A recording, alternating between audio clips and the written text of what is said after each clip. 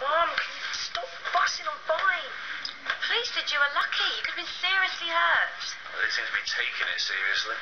I'm sure that's not true. They kept going on about the money. As if I care about that. 400 quid's nothing. There's your England cat. Yeah, that's priceless. Well, what's priceless to me are my kids. Have a go heroes rarely come off best. What was I supposed to do? Just let some low life rob us and do nothing?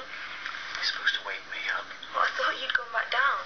I'm just surprised that the alarm didn't go off straight away. Why, what does that matter? Well, the front door triggers the alarm. It didn't go off until the door was open. Whoever did it must have been hiding in the pub after closing. Or it was someone who works here.